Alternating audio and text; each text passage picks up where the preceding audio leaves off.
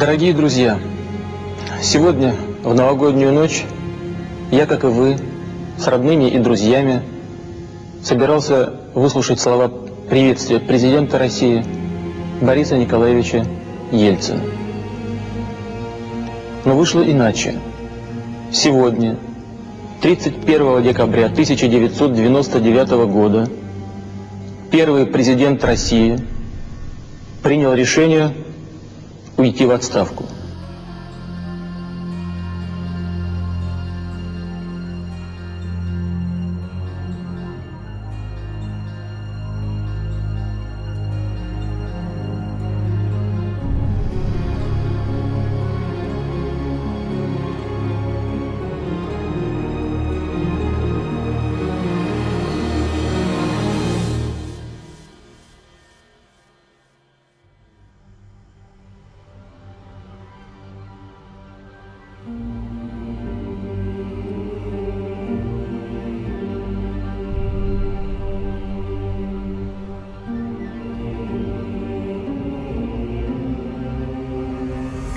Стоило только России ослабнуть, стоило только показать хоть малейшие элементы слабости, сразу же появлялась нечисть, которая пыталась добить нашу страну, растерзать ее на куски, поставить на колени.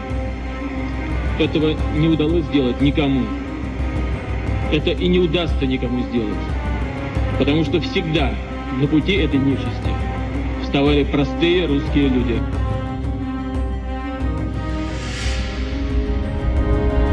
По крайней мере, всему цивилизованному человечеству. И то, что произошло сегодня, лишний раз подчеркивает актуальность предложения России объединить усилия международного сообщества с террором, с этой чумой 21 века. Россия не понаслышке знает, что такое террор. И поэтому мы лучше всего понимаем чувства американского народа.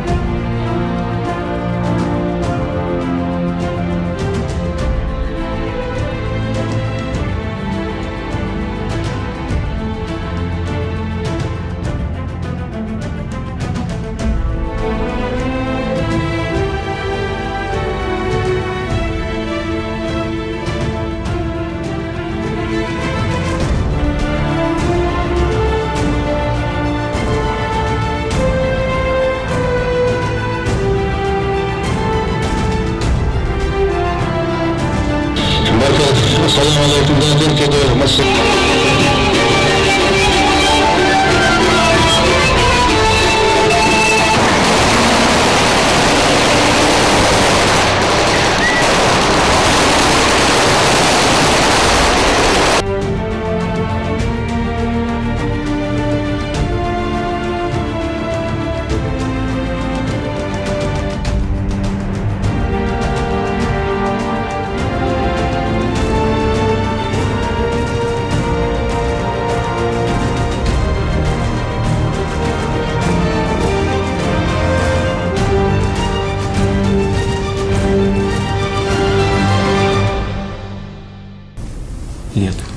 касается кандидатуры Дмитрия Анатольевича Медведева, то могу сказать, что я знаком с ним более 17 лет. Мы очень близко с ним работали все эти годы. И я целиком и полностью поддерживаю этот выбор. Спасибо.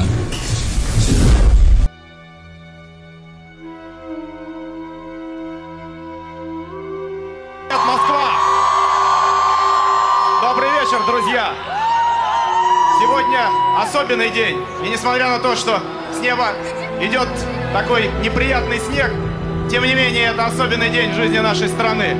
Мы выбираем путь развития на время, достаточно долгое время вперед.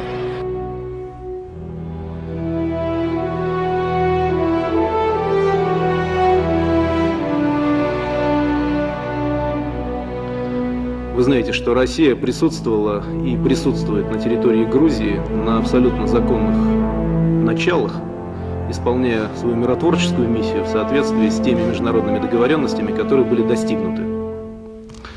И главной своей задачей мы считали и считаем сохранение мира. Россия исторически была и останется гарантом безопасности народов Кавказа.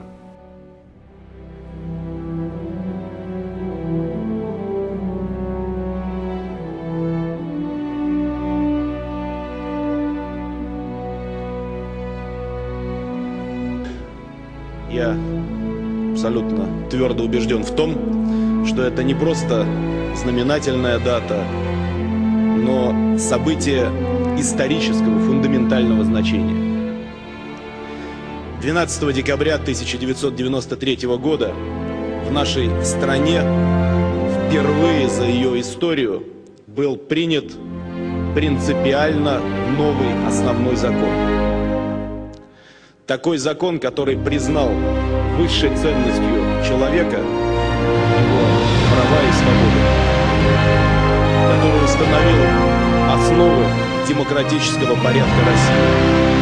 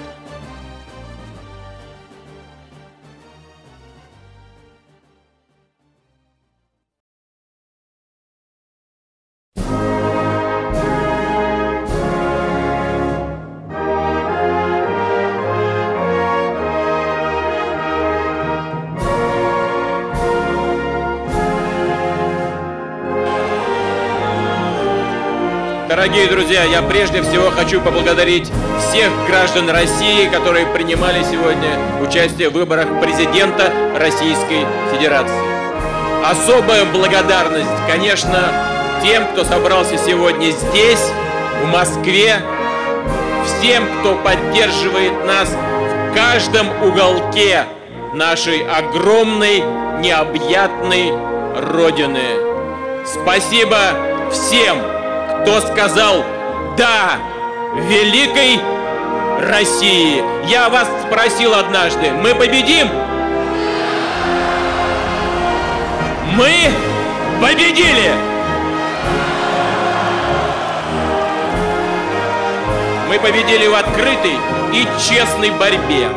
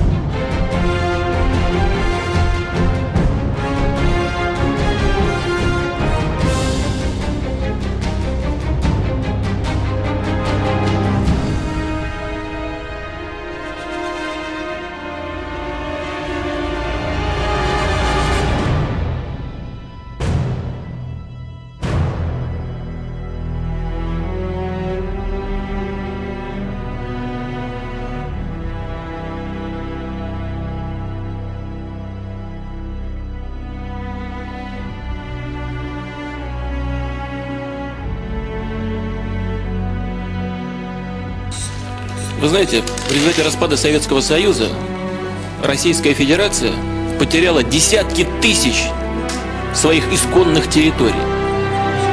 И что вы предлагаете сейчас? Начать все делить сначала? Вернуть нам Крым, часть территорий других республик бывшего Советского Союза и так далее. Давайте Клайпеду вернем нам тогда. Давайте сейчас начнем все делить в Европе. Вы этого хотите? Ведь нет, наверное.